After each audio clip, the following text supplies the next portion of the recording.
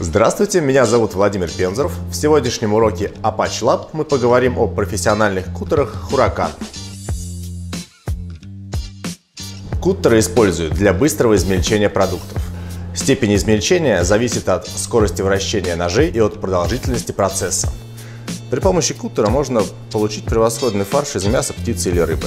Также вы сможете быстро приготовить массу для суфле, омлета, приготовить соус, пюре из овощей. А еще замесить тесто и даже измельчить лед, орехи или шоколад. Сегодня на нашей кухне представлена одна из самых популярных моделей кутеров Huracan HKN CL6. Из чего состоит куттер? Из чаши. Цифра в маркировке куттера обозначает рабочий объем держи. В нашем случае 6 литров. Чашу устанавливаем на корпус и закрепляем. Так как чаша и корпус непосредственно взаимодействуют с продуктами, они сделаны из 304 стали, которая устойчива к окислению. Лезвие ножа, на поверхности которого расположены зубчики, благодаря которым мы легко можем обрабатывать такие твердые продукты, как орехи.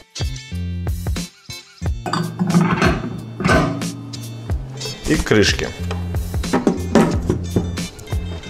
Благодаря прижимному механизму наш продукт не расплескается из держи.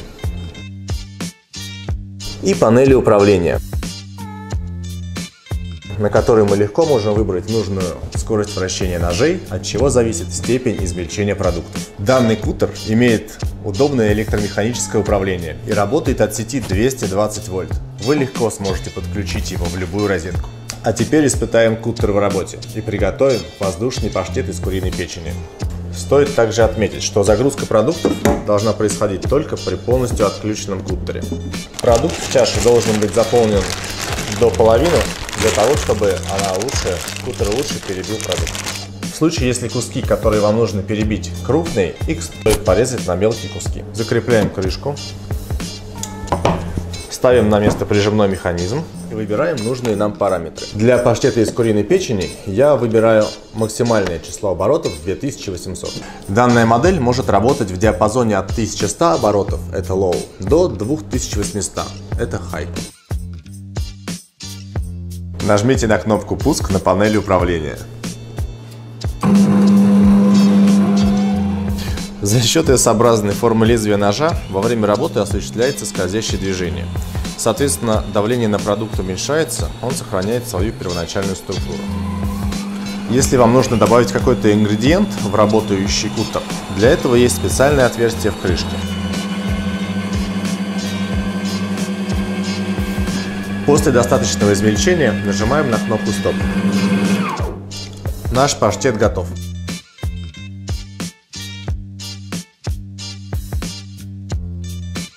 Рабочий цикл кутера не должен превышать 3 минут. В зависимости от выбранной скорости вы можете получить продукт, нарезанный на мелкие, средние или крупные кусочки. Все зависит от того, что вы хотите приготовить и от типа выбранного продукта. Например, свинина измельчается за 18 секунд, фасоль за 60, а арахис за 30. Давайте проверим, за сколько мы приготовим соус для салата «Цезарь».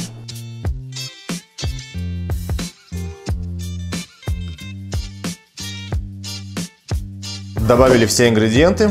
Можем засекать время и готовить соус. Включаем.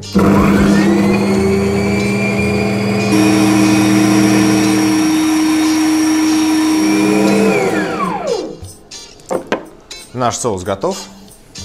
Можем заправлять салат.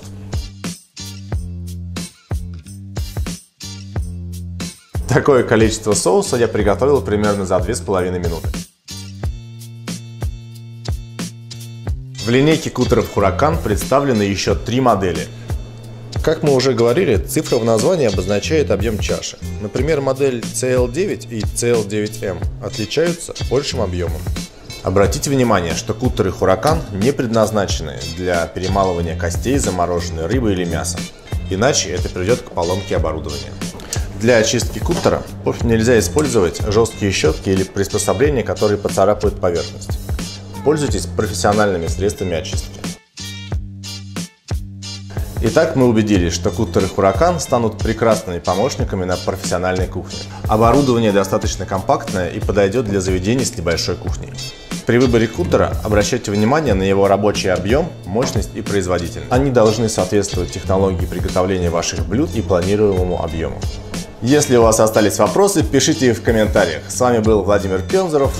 Пользуйтесь техникой правильно.